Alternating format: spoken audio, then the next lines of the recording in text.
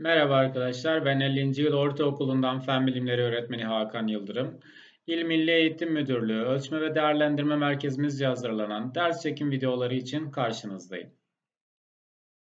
Bugünkü dersimizde 7. sınıf 2. ünitesi olan hücre konusunun ikinci bölümü olan hücre bölünmelerinden bahsedeceğim arkadaşlar. Bir bebeğin büyüyerek yetişkin bir insan haline gelmesi, saçlarımızın uzaması, bir tohumun çimlenerek bir bitkiyi oluşturması gibi pek çok olay hücre bölünmesi sayesinde gerçekleşir. Hücre zarı konusundan bahsederken madde giriş çıkışından bahsetmiştik. Madde giriş çıkışı sonucunda hücreler büyürler. Ve büyüyen hücre belli bir olgunluğa ulaştıktan sonra bölünme ihtiyacı duyar. İşte belli bir büyüklüğe ulaşan hücrelerin bölünerek yeni hücreler oluşturmasına hücre bölünmesi adını veriyoruz. Hücre bölünmesi en basit canlıdan en gelişmiş canlıya kadar bütün canlılarda gerçekleşir. Hücre bölünmesini mitoz bölünme ve mayoz bölünme olarak ikiye ayırıyoruz. Mitoz bölünme ile başlıyoruz arkadaşlar. Mitoz bölünmede iki an kromozomlu bir hücre bölünerek yine iki an kromozomlu fakat iki tane yeni hücre oluşturuyor. Mitoz bölünme yaralanan ve yaşlanan hücrelerin yerine yeni hücreler meydana getirir. Yine organizmanın büyümesi, yaraların onarılması mitoz bölünme sayesinde olur. Toparlayacak olursak mitoz bölünme tek hücreli canlılarda çoğalmayı, çok hücreli canlılarda ise büyüme, gelişme ve yaraların iyileşmesini sağlamaktadır. Mitoz bölünme sonucu oluşan hücrelerin kromozom sayısı ile ana canlının kromozom sayısı aynı, kalıtsal özellikleri de yine aynıdır arkadaşlar. Mitoz bölünme ile gerçekleşen olaylara birkaç örnek vermek istiyorum. Bir bebeğin büyüyerek bir çocuk haline gelmesi, vücudumuzdaki yaraların onarılması, bir civcivin tavuk haline gelmesi, boyumuzun uzaması, bir tohumun çimlenerek bir bitkiyi oluşturması, kırılan bir kemiğin onarılması, tayın at haline gelmesi, yeni kan hücrelerinin üretimi, eşeysiz üreyen canlıların çoğalması hep mitoz sayesinde gerçekleşmektedir. Mitoz bölünme hazırlık evresi, çekirdek bölünmesi ve stoplazma bölünmesi olmak üzere 3 aşamada gerçekleşiyor. Mitoz bölünme sırasında bu aşamalar birbirini takip eden evreler sonucunda gerçekleşir. Bütün mitoz bölünmeyi tek resimde gösterdik burada. Önce bir hazırlık evresi geçirir hücre. Ardından birkaç evre daha geçirdikten sonra önce çekirdek bölünmesi ardından da stoplazma bölünmesi ile iki en kromozomlu bir hücreden birbirinin aynısı yine iki en kromozomlu iki yeni hücre oluşmaktadır. Şimdi bu evrelere tek tek bakalım arkadaşlar. Mitoz bölünme başlamadan önce DNA kendini eşler yani kopyalar yani miktarını iki katına çıkarır. Kalıtsal madde miktarı iki katına çıkar. Kromatin iplikler kısalıp kalınlaşarak kromozom halini alır. Burada gördüğünüz kromatin ipliklerdir arkadaşlar. Bir hayvan hücresi üzerinde anlatmaya çalışacağım. Hayvan hücresinin yuvarlak olduğunu artık biliyoruz. Burada iki tane sentriol var arkadaşlar. Sentrozomumuz var burada. Bunlar hazırlık evresinde gerçekleşen bazı olaylar. İkinci aşamada ise arkadaşlar çekirdek zarı ve çekirdekçilik erimeye başlıyor ve hayvan hücrelerinde sentrozomlar zıt kutuplara çekilmeye başlar ve iyi ipliklerini oluşturur. İlk aşamadan farklı olarak çekirdek zarı erimeye başladı. İyi iplikleri kısalıp kalınlaştı, kromozom halini aldı. Şu mor renkle gördüğünüz X harflerine benzeyenler kromozomdur arkadaşlar. Sentriyoller zıt kutuplara çekildiler, iyi ipliklerini oluşturdular. Kromozomlar bu iyi ipliklerine tutunmuş halde bulunuyorlar. Sonraki aşamada kromozomlar hücrenin ortasına yani bunu bir e, dünya gibi düşünecek olursak ekvator bölgesine dizildiler arkadaşlar. Sonraki aşamada kromozomlar birbirlerinden ayrıldılar. Yani ortadan ikiye bölünmüş gibi düşünecek olursak arkadaşlar her bir parçaya kardeş kromatit adını veriyoruz kardeş kromatitler zıt kutuplara doğru çekilmeye başladılar. Sonraki aşamada arkadaşlar çekirdek zarının tekrar oluştuğunu görüyoruz. Ve son aşamada da stoplazma bölünmesiyle iki en kromozomlu iki tane yeni hücre oluştu arkadaşlar.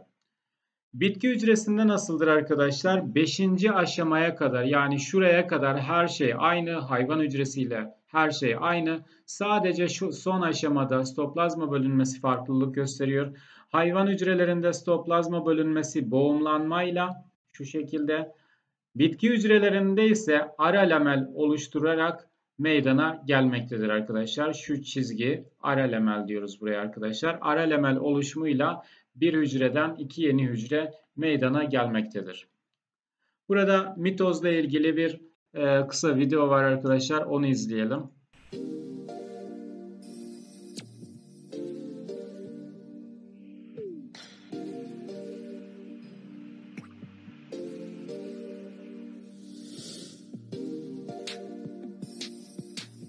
Mitoz bölünme ile ilgili birkaç ekstra bilgi vermek istiyorum sizlere. Mitoz bölünme çizgili kas hücrelerinde, olgun al yuvar hücrelerinde, sinir hücrelerinde, göz hücresinde daha doğrusu retina hücrelerinde ve üreme hücrelerinde gerçekleşmez. Kimdir bu üreme hücreleri? Sperm hücresi, yumurta hücresi ve bitkiler için polen hücresidir arkadaşlar. Tekrar edelim burayı. Mitoz bölünme çizgili kas hücrelerinde, olgun al yuvar hücrelerinde, sinir hücrelerinde, göz hücrelerinde ve üreme hücrelerinde görülmez. Mitoz bölünme sonucu oluşan hücrelerin sitoplazma miktarları, organel sayıları ve hücre büyüklükleri farklı olabilir. Biz mitoz bölünme sonucu hep aynı iki hücre oluşur diyoruz ama aslında bunların kalıtsal özellikleri aynıdır. Fiziksel olarak organel sayısı, hücre büyüklüğü veya sitoplazma miktarı farklı olabilir. Mitoz bölünme yaşam boyu devam eder fakat bebeklik, çocukluk ve ergenlik dönemlerinde tahmin edeceğiniz gibi daha hızlı gerçekleşmektedir. Yine karıştırılan bir nokta deniz yıldızının kopan kolunu tamamlanması yenilenmedir. Kopan kolun veya kopan parçanın yeni bir canlıyı oluşturması ise üremedir. İlk örnekte arkadaşlar kopan kol tamamlanıyordu, yeni bir canlı oluşmuyordu. İkinci örnekte ise kopan parça yeni bir canlıyı oluşturuyor. Yani başta bir canlı varken artık iki canlı var. Dolayısıyla bu olay üreme olur. Eşeysiz üreme kelimesi geçmişte. Eşeysiz üremeden de kısaca bahsedeyim. Eşeysiz üreme mitoz bölünme sayesinde olur ve eşeysiz üreme dörde ayrılır. Eşeysiz üreme şudur arkadaşlar. Normalde biz insanlarda bir canlının oluşabilmesi için eşey hücrelerine, erkek ve dişi eşey hücrelerine ihtiyacımız var. Eşeysiz üremede ise bu eşey hücreleri gerekmiyor. Yani bir canlı kendi başına çoğalabiliyor. Bunu dört şekilde yapıyor. Bölünerek çoğalma, tomurcuklanma ile çoğalma, rejenerasyonla çoğalma ve vejetatif çoğalma olarak toplam dört şekilde yapabilir. İkinci bölünme çeşidimiz arkadaşlar mayoz bölünmeden bahsedelim. Mitoz bölünmeden farklı olarak mayoz 1 ve mayoz 2 olmak üzere iki aşamada gerçekleşiyor. Burada kırmızıyla gördüğünüz mitozun aşamalarıydı. 2N kromozomlu bir hücre mitoz geçiriyor. 2N kromozomlu iki hücre oluşuyordu. Mayoz bölünme ise 2N kromozomlu bir hücre önce mayoz 1'i geçirip N kromozomlu 2 hücreyi oluşturuyor. Ardından her bir hücre mayoz 2'yi geçirip N kromozomlu 2 yeni hücreyi oluşturuyor ve sonuçta arkadaşlar mayoz bölünme sonucu N kromozomlu toplam 4 tane yeni hücre oluşmuş oluyor. Eşey hücrelerinin birleşmesiyle gerçekleşen üreme şekline eşeyli üreme denir. Yani anne ve babadan bahsedebiliyoruz burada arkadaşlar. Dişi eşey hücresi yumurta, erkek eşey hücresi ise arkadaşlar spermdir. Şu sperm arkadaşlar, bu da yumurta. Dişi bireyin yumurta hücrelerinin oluşması ve erkek bireyin sperm hücrelerinin oluşması mayoz bölünme ile gerçekleşir. Yani şurada dişi eşey ana hücresi 2N kromozomludur. Mayoz geçirir, yumurta hücresini oluşturur. Erkek eşey ana hücresi 2N kromozomludur. Yine mayoz geçirir ve sperm hücresini oluşturur. Ardından bu eşey hücreleri birbiriyle birleşir. İkisinin birleşmesi olayına döllenme diyoruz. Yani sperm ve yumurta hücrelerinin birleşmesi olayına döllenme diyoruz. Döllenme sonucu 2N kromozomlu canlının ilk hücresi diyebileceğimiz zigot oluşur arkadaşlar. Daha sonra bu zigot üst üste birkaç mitoz geçirerek embriyoyu, embriyoda gelişerek bir canlıyı, bir organizmayı meydana getirmektedir arkadaşlar. Yaşam döngümüzü tekrar edelim arkadaşlar. Dişi eşey ve erkek eşey ana hücreleri mayoz bölünme geçirir. En kromozomlu eşey hücreleri yumurta ve sperm hücresi oluşur. Daha sonra bunlar birleşir. İkisinin birleşmesine döllenme diyoruz. Döllenme sonucunda zigot oluşur. Daha sonra zigot mitoz bölünmeler geçirerek embriyo hücresini oluşturmaktadır arkadaşlar. Mayoz bölünme sonucu kromozom sayısının yarıya inmesi tür içerisinde kromozom sayısının sabit kalmasını sağlar. Ne demektir bu arkadaşlar? Şekil üzerinde tekrar anlatalım. Eğer mayoz bölünme görülmeseydi 2N kromozomlu hücreler birleştikten sonra 4N kromozomlu bir hücre oluşacaktı. Daha sonra bu 4N'ler yine yan yana gelerek 8N'leri bu şekilde her seferinde ikiye katlanmasına neden olacaktı. Fakat mayoz bölünme ne yapıyor? Bunu yarıya indirgiyor. Yarıya indirgendikten sonra döllenme gerçekleşiyor ve bu sayede kromozom sayısı ana canlıyla aynı olan yine iki yan olan yeni bir canlı oluşuyor. Böylece sabit kalmış oluyor. Mayoz bölünme bitki ve hayvanlarda üreme hücrelerinin oluşmasını sağlar. Mayoz bölünme sadece eşeyli üreyen canlıların eşey ana hücrelerinde, eşey ana hücrelerinde gerçekleşir. Biri anneden, diğeri babadan gelen aynı büyüklüğe, şekle ve özelliklere sahip olan kromozomlara homolog kromozomlar denir arkadaşlar. Parça değişimi mitozun önemli özelliklerinden biri. Eşeyli üreyen canlıların eşey ana hücrelerinde mayoz bölünme sırasında homolog kromozomlar arasında gerçekleşir. Şurada arkadaşlar mavi ve kırmızı renkle gördüğünüz kromozomların biri anneden biri babadan gelmiştir. Bunlar birbirlerine benzer oldukları için bunlara homolog kromozom adını veriyoruz. Bu homolog kromozomlar yan yana gelir. El ele tutuşmuş gibi düşünün. Ve daha sonra arkadaşlar birbirleriyle parça değiştirirler. Bu durumda arkadaşlar her parça bizim bir özelliğimizi gösteriyordu. Bu durumda oluşan kromozomlar ana kromozomlara artık tamamen benzemiyorlar. Bu sayede artık bir çeşitlilik sağlanmış oldu. Bu da tür içi çeşitlilik olarak adlandırılıyor arkadaşlar. Ve bu olay mayozun ilk safhası olan mayoz 1 aşamasında gerçekleşmektedir arkadaşlar. Tür içi çeşitliliğin birkaç sebebi var aslında arkadaşlar. Bir mayoz 1'deki parça değişiminden bahsettik. Bunun dışında döllenme arkadaşlar tür içi çeşitliliğe yol açar. Nasıl oluyor bu olay arkadaşlar? Anne ve babanın özellikleri karışıyor, çocuğun özellikleri ortaya çıkıyordu. Bu olay döllenmeydi. Dolayısıyla döllenme de çeşitliliğe yol açıyor. Yine kardeş kromatitlerin kutuplara rastgele çekilmesi veya hareket etmesi. Mitozdan hatırlayalım arkadaşlar. Kardeş kromatitler zıt kutuplara çekiliyordular ve bu olay rastgele olduğu için sonuçta yeni bir canlıyı oluşturacaklar, yeni bir hücreyi oluşturacaklar. Dolayısıyla bu da çeşitliliğe neden oluyor. Yine eşeyli üreme arkadaşlar başlı başına tür içi çeşitliliğin sağlayan faktörlerden biridir. Mayozun bütün safhalarını tek bir resim üzerinde gösterdik arkadaşlar. Önce bir hazırlık evresi geçiriyor, kromozomlar oluşuyor. Bu kromozomlar hücrenin ortasında diziliyor. Fakat burada mavi ve kırmızı renkte iki kromozom yan yana yani homolog kromozomlar var arkadaşlar. Daha sonra bu homolog kromozomlar zıt kutuplara çekiliyorlar. Ardından çekirdek bölünmesi ve stoplazma bölünmesiyle en kromozomlu başlangıçtaki iki yendi, iki yeni hücre oluştu. Daha sonra en kromozomlu hücreler tıpkı mitozda olduğu gibi arkadaşlar yeni aşamalardan geçiyor. Yine kromozomlar oluşuyor. Kromozomlar birbirinden ayrılıyor. Kardeş kromatit şeklinde çekirdek ve stoplazma bölünmesiyle en kromozomlu 4 yeni hücre oluşmuş oluyor. Şimdi bütün bu aşamalara tek tek bakalım arkadaşlar.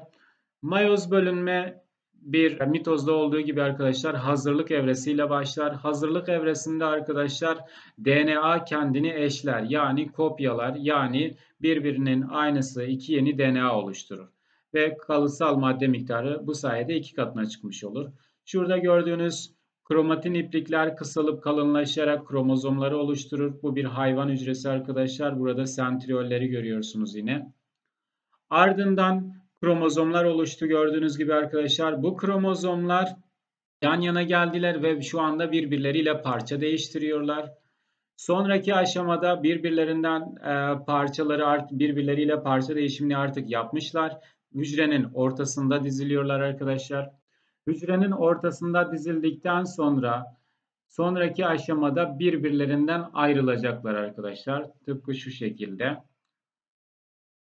Bir sonraki aşamada tekrardan çekirdek zarı oluşmaya başlıyor ve en son stoplazma bölünmesiyle iki yeni hücre oluşmuş oluyor. Böylece mayoz 1 tamamlanmış oluyor. Mayoz 2'de ise arkadaşlar bir hazırlık evresi yok arkadaşlar. Hazırlık evresi olmadığı için şuradan başlayacağız. Şu aşamadan başlayacağız. Bu aşamada arkadaşlar mavi ağırlıklı ve kırmızı ağırlıklı hücrelerden bahsedeceğiz. Mavi ağırlıklı olan hücredeki kromozomlar yine oluşmuş. Yine aynı şekilde kırmızı e, ağırlıklı olan kromozomlar da oluşmuş. Daha sonra bunlar hücrenin ortasında dizildiler. Ardından kardeş kromatit şeklinde aynı mitozda olduğu gibi birbirlerinden ayrılmaya başlıyorlar. Maviler de aynı şekilde ve çekirdek bölünmesi ardından stoplazma bölünmesiyle iki yeni hücre oluşuyor. Böylece iki en kromozomlu bir hücreden en kromozomlu 4 tane yeni hücre oluşmuş oluyor arkadaşlar. Mayoz bölünme, döllenme olayıyla birlikte canlıların kromozom sayısının nesiller boyu sabit kalmasını sağlar ve parça değişimi sayesinde de biyolojik çeşitliliğe katkı sağlar. Bunlar mayozun iki önemi arkadaşlar.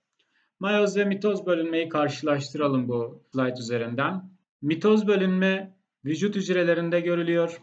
Mayoz bölünme üreme ana hücrelerinde görülüyor. Mitoz bölünme sonucu iki yeni hücre oluşuyor.